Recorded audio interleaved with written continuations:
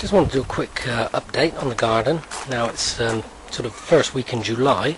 And what usually happens in the first week of July is you're going to get the white cabbage butterfly that's going to come along. And it's going to lay its eggs.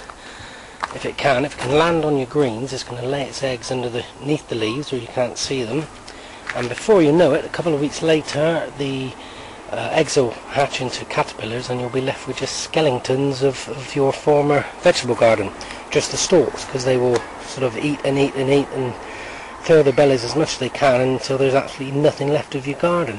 So obviously what you have to do is put some netting over it. Now to be fair this probably won't there's always ways in. As you can see here there's sort of a gap here. There's always ways that they can get in but it does sort of hinder them. So it's not giving them free permission to land at will and just lay as many eggs as possible. So as you can see, you know, it's, it's quite a hot day as it is here, so they should be around, but they've kind of given up a little bit.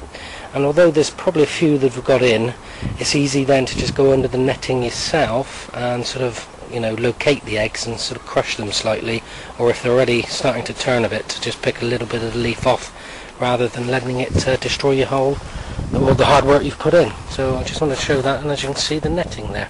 It's obviously a good idea to put the uh, just some sticks in, some pots on, so the netting doesn't fall through the uh, fall through the sticks. Keep it away from the uh, tops of your veg, and away you go. And as I say, this is a little update on how it's all doing. It's doing very well, as you can see here. The peas already forming nicely.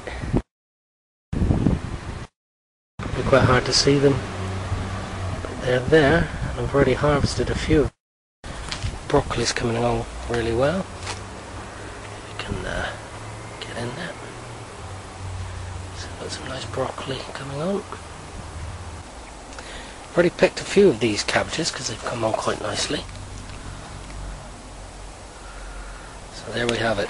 That's it for this update. Just a quick tip really, make sure you put some netting over your veg, otherwise you won't have any left.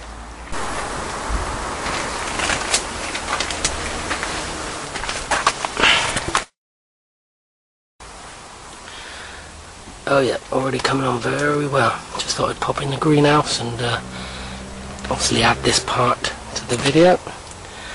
Everything's looking pretty good in here.